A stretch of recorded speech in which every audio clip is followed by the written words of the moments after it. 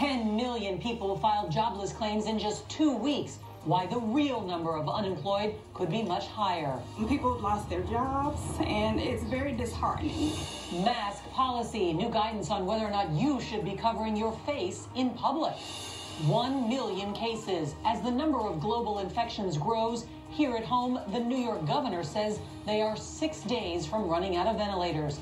And nurses across the country demand protective equipment now. I'm worried about dying a lot more than I'm worried about repercussions. Relieved of command. Breaking news tonight from that aircraft carrier with sailors infected with the virus. Why the captain who sounded the alarm was punished.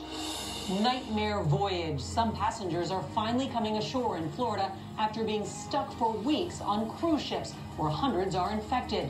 But could bringing them on shore put others at risk? Happy birthday! Meet the man who survived the 1918 Spanish flu pandemic, World War II, and now COVID 19. And he's just turned 104 years young. And an inspiring story of a seven year old spreading joy by supplying local hospitals with protective gear.